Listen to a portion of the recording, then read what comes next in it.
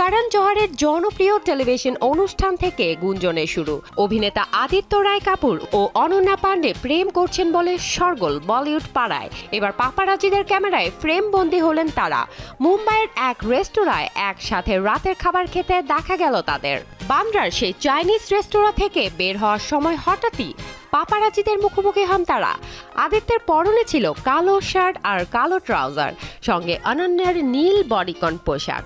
যদিও এর আগেও তাদের একসাথে দেখা গেছে একাধিক অনুষ্ঠানে। ফিফা ওয়ার্ল্ড কাপের ফাইনাল দেখতেও উড়ে গিয়েছিলেন একসঙ্গে। হাউস পার্টিও করেছেন বহুবার। কয়েকদিন আগে রণবীর কাপুরের কথাতেও মিলেছিল আদিত্য আর অনন্যার প্রেমের আভাস। তবে পরস্পরকে নিয়ে একটি শব্দ উচ্চারণ করেননি এই যুগল।